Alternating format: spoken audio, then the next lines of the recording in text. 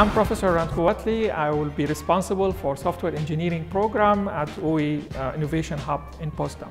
We will teach you the new technologies that are available in the market. These technology like uh, parallel computing, cloud computing, big data and analytics, machine learning, artificial intelligence, smart system, all these technologies that's available in the market and demanded by companies and industry. Any type of industry or any type of company requires software these days, so you can apply everywhere. There is a lot of demand in the market for software engineering. You will be able to work as a software developers, front end and the back end developers, high software design, app developers, artificial intelligence expert. There is a growing demand in the next two decades for software engineering experts. I'm looking forward to meet you at our innovation hub in Potsdam.